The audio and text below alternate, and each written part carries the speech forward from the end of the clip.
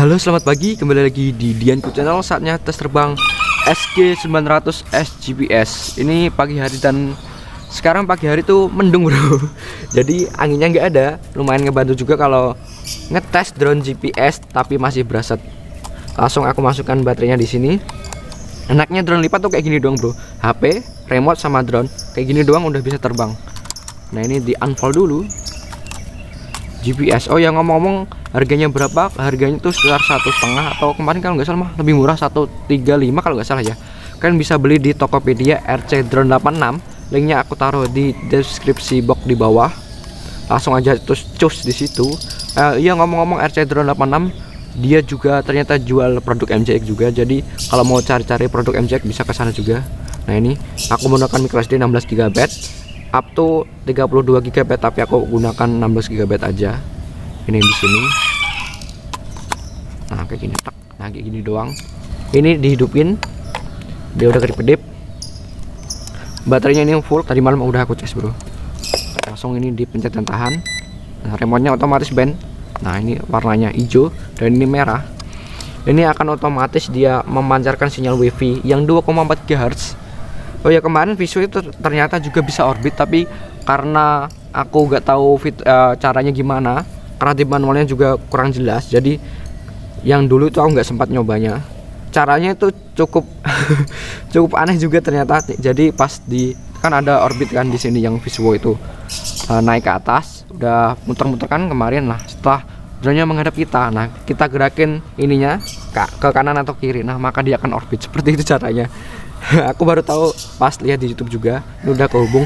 Ya uh, si visual itu sendiri juga dijual di RC Drone 85 eh 85 RC Drone 86 nah udah kehubung aku buka aplikasinya di sini. LW FPV nah ada hover. Nah ini ya fitur-fiturnya lengkap di sini. Ada ini buat um, mission planner alias point apa sih namanya sih?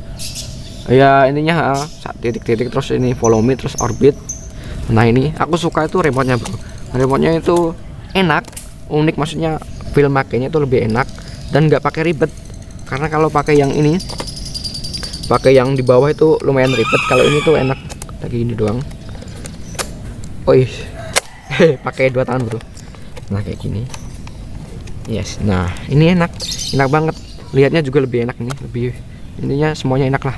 Nah setelah ini tadi udah ini kan dia kayak gini terus kalibrasi giro yang ini ke bawah yang ini ke atas dia akan berkedip-kedip. Nah dia kedip-kedip. Dia udah kalibrasi giro. Selanjutnya kalibrasi kompas dengan cara ini ke atas ini ke bawah. Dia akan berkedip-kedip cepat tuh dia kedip-kedipnya cepat bro. Bisa dilihat kan? Nah kayak gitu. Nah setelah ini lalu kita putar tiga kali horizontal. Satu dua tiga. Dan tiga kali untuk vertikalnya. Satu dua tiga. Udah tiga kayak gini coba lagi satu lagi. Ya udah tiga. Dia masih kedip kedip, -kedip tapi nggak apa-apa. Nah udah nggak. Ini kedip kedipnya udah pelan. Berarti dia siap menerima sinyal GPS terkait masalah GPS drone ini tuh sebenarnya bisa langsung diterbangkan. Ada pengaturnya di sini bro. Walaupun tanpa GPS nih di sini. Apa parem bukan parem bukan ini joystick. Nah ini nih. Take off only when GPS yes. Kalau Dino juga bisa jadi dia sebelum ada GPS kalian bisa langsung take off.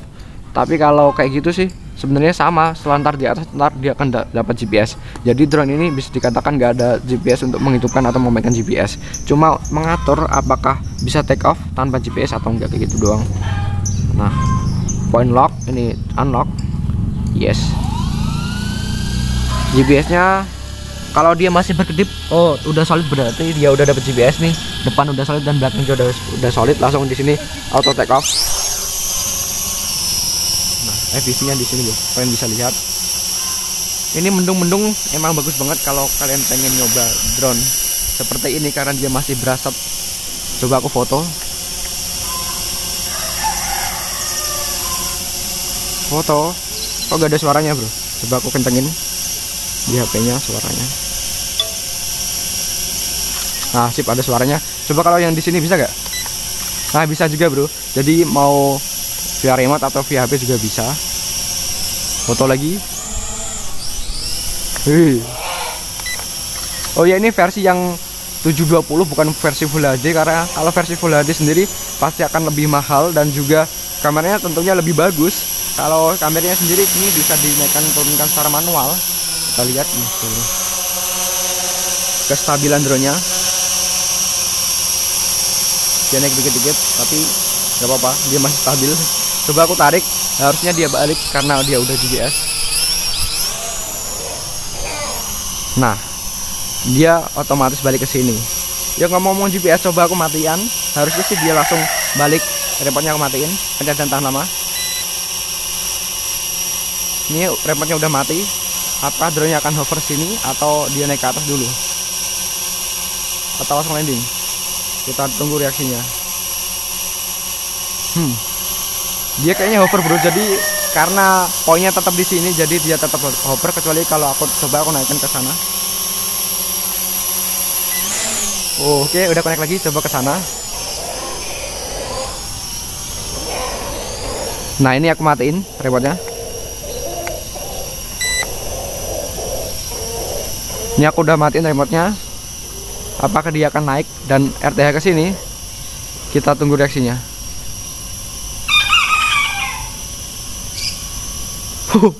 Tampaknya harus tes lebih jauh lah.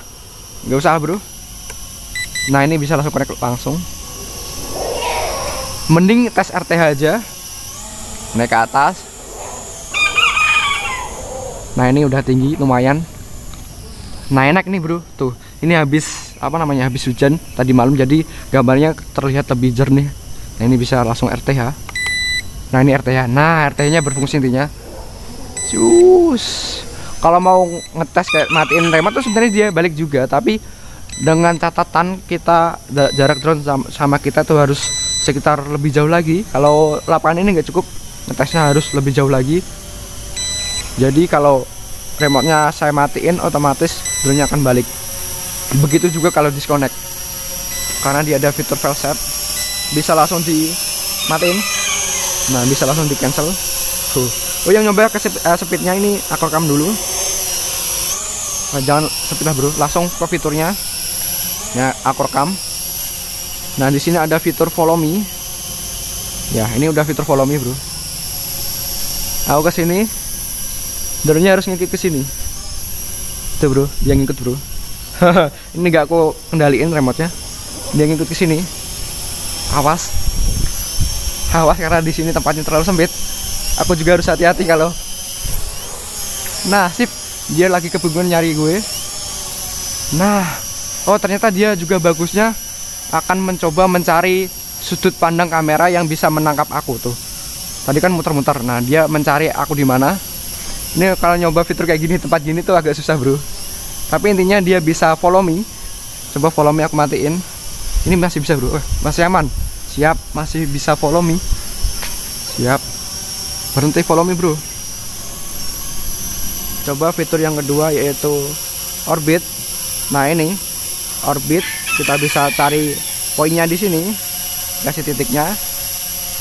Nah terus setelah udah kasih titiknya terus ini submit. Nah dia. Nah kalau orbit dia bisa bro. Kan poinnya di sini nih. Maka dia akan coba tinggi dan dia akan coba ngorbit. Bro. Di atas dia ngorbit. Wih keren bro. Keren banget. Kalau visual kan kemarin aku lihat itu dia bisa ngorbit. Tapi ngorbitnya itu gini bro. Orbitnya itu uh, berdasarkan nggak ada patokan di GPS-nya kali sini kan ada patokannya. Kalau di Visio itu nggak ada. Orbitnya juga bagus ini.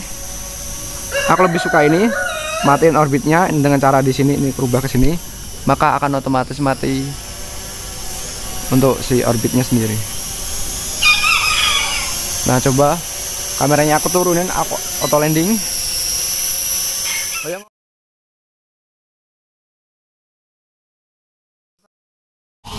Dan auto take off. Nah langsung orbit lagi. Nah kita cari titiknya. Kita tulis titiknya di sini nah submit maka dia akan orbit. Tuh bro. Set. Bagus juga nak. Karena kenapa aku pilih ini? Karena kalau berdasarkan harga itu lebih murah ini daripada visual.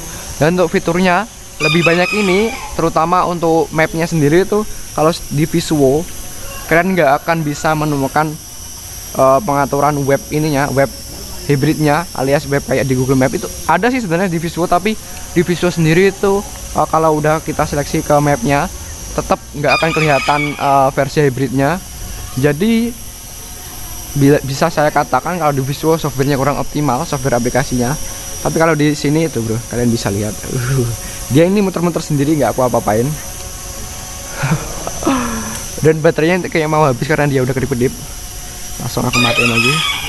Sat eh oke udah mati bro di sana. Tuh dia di sana antang banget. Tuh. Coba aku tinggiin maksimal. Oh nggak bisa ditinggiin lagi bro ini. Karena ada settingannya. Kalian bisa lihat di sini. Di sini ada settingannya untuk ketinggian maksimalnya. Ininya drone ini udah keren lah untuk kelas harga satu jutaan bisa dikatakan seperti itu. Nah coba aku coba speednya aja. Karena kalau baterai mau habis jangan dicoba jauh-jauh itu terlalu riskan bro. Ini kameranya bisa aku naikkan ini saya pegang ya begitu. Speednya satu. Ini speed satu.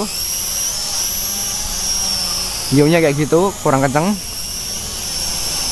Yeah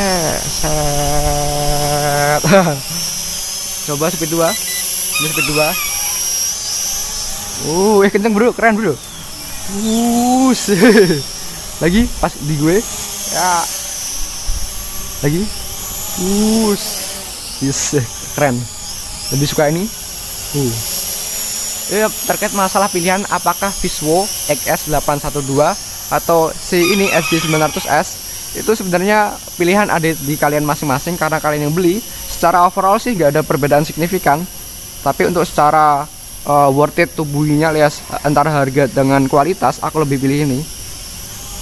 Uh. Aku kayak gini lah sampai habis. Oh ternyata dia otomatis RTH bro. Ini aku gerakin udah nggak bisa. Dia otomatis RTH ini dia naik terlebih dahulu. Oh ya naiknya kan cuma segini. Ini sebenarnya kalian bisa atur juga. Kalian bisa atur di ketinggian berapa. Tapi dalam aplikasi ini itu uh, settingannya settingannya menggunakan unit FT alias kaki.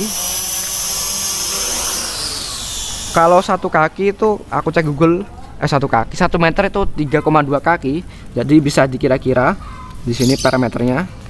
Uh, ini default height of homeward 32 32 berarti ya sekitar 10 meter ini tadi. 32 kan kali 10 nah berarti 10 meter. Kalian harusnya sih ini 30 meter kalau aman karena tadi kan segitu doang itu nggak aman banget tuh. Cuma 10 meter pasti ada rumah yang lebih tinggi atau bahkan tower-tower yang lebih tinggi. Jadi aku saranin tuh maksimal ah, maksimal minimal 30 meter alias 3,2 dikaliin 30 ya sekitar 90 atau bahkan bisa di, di set 100 FT aja lah. Kira-kira itu udah 30 meter kayak gitu. Nah ini. Yes. Keren kan bro? FVP nya real time ini masih ngerekam dapat oh 10 menitan bro. Lumayan lah ini terbangnya untuk uh, baterai yang 1100 mAh. Ngecasnya juga lumayan cepat apalagi si remote baterainya nih. Si baterai remote-nya kalian bisa cas juga jadi nggak perlu yang namanya beli buat uh, baterai ABC atau alkalin kayak gitu. Ini adalah video lanjutan karena kemarin ada beberapa fitur yang lupa dicoba karena kehabisan baterai dulu. Yang pertama itu waypoint dan kedua ada headless mode arming dan auto take off sambil aku rekam karena kemarin itu ternyata hasil rekamannya itu nggak kesimpan di SD ini aku rekam. Nah ini udah disimpan di SD hasilnya. Dan nampaknya karena eh, sebelah sana itu timur depannya itu timur dan matahari terbit sehingga gambarnya akan backlight kecuali aku potret kayak gini. Nah kayak gini maka nggak akan backlight nah kayak gini bro. Gimana menurut pendapat kalian? Apakah gambar seperti ini bisa dikatakan bagus? Nah aku coba head mode aja langsung jadi kan depannya sana. Aku pencet tombol yang ini. Ini head mode nah udah. Udah bunyi kayak gini berarti uh, otomatis patokan depannya sana. Kalau aku puterin kayak gini aku majuin remote-nya dia akan tetap ke sana tuh bro. Ini berfungsi kalau mau drone manual kalian lebih enak. Karena kalian nggak berpatokan pada depan remote tapi berpatokan pada depan kalian. Seperti ini. Ini drone uh eh bentar. Kurang kurang bagus. Angelnya nah kayak gini shoot. Nah ini drone bro. Ini drone manual. Uh ya orangnya agak kelihatan. Nah kira-kira seperti inilah. Kayak gitu. Kalau mau balik tinggal tarik ke sini lagi manual. Uh. Yes. Itu smooth matiin maka depannya berubah ke sana lagi. Ini aku ke depanin tuh depannya ke sana. Nah fitur selanjutnya yaitu waypoint. Waypoint kemarin nggak ke ini karena keburu baterainya habis dengan cara ini waypoint. Titiknya mana bro? Gue mana gue? Titik gue di mana? Buset jauh banget. Nah ini. Jangan sampai salah poin. Kalau ini map. Coba yang hybrid. Nah kayak gini lebih enak. Terus aku coba waypoint ini ke ke sini kasih titik. Titik sini terus titik di sini dan balik lagi ke sini. Ini muter-muter sini doang submit. Tuh bro dia bisa. Ikutin titik-titik yang di sini tadi. Ini ke sini terus ke sana. Oh ternyata dia nampaknya lebih tinggi bro. Karena sebenarnya settingannya tiap waypoint itu bisa di setting apa bisa di setting ketinggiannya. Tapi karena ini tadi langsung aku coba ini secara default ketinggiannya. Dia akan ke titik di situ terus dia akan balik lagi ke sini. Sesuai titik yang ada di map. Ya kalau udah apakah dia akan balik atau berhenti? Oh dia akan balik bro. Dia akan balik ke titik awalnya. Wih keren. Coba lagi coba lagi. Oh, ini hapus. Semuanya hapus. Hapus all. Hapus. Nah coba lagi waypoint di sini. Ini waypoint sini. Terus di sini di sini dan di sini. Submit lagi bro nah dia akan oh dia berjalan sendiri. Dia ke sana sebalik lagi ke sini. Ke sono ini titik kedua. Oh, ya kalau di mapnya dia nggak kelihatan drone sebelah mana tapi uh, kita bisa lihat secara langsung. Drone-nya itu ngikutin sesuai titik yang ada di mapnya. Ini menuju ke titik 4 eh 3 dan tampaknya juga lumayan kencang juga bro. Akurasinya juga bagus. Nah ini menuju ke titik 4 kalau udah 4 ini berhenti. Terus mengarah ke aku dikit. Nah langsung dia bisa turunin. Ini bagus banget sih. Uh, kalau kameranya lebih bagus dan bisa stabil ini bisa dijadikan uh, alat untuk survei juga pemetaan. Tapi sayangnya kamera sama ininya belum memadai jadi cuma bisa buat coba-coba aja.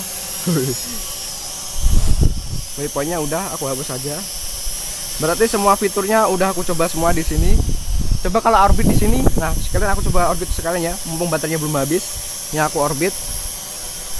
Nah ini orbit terus titiknya titiknya di mari. Harus bisa titik. Ini ketinggiin tinggiin terlebih dahulu. Submit. Nah dia akan otomatis orbit bro. Ini naik ke atas terlebih dahulu. Nah dia akan orbit. Tuh.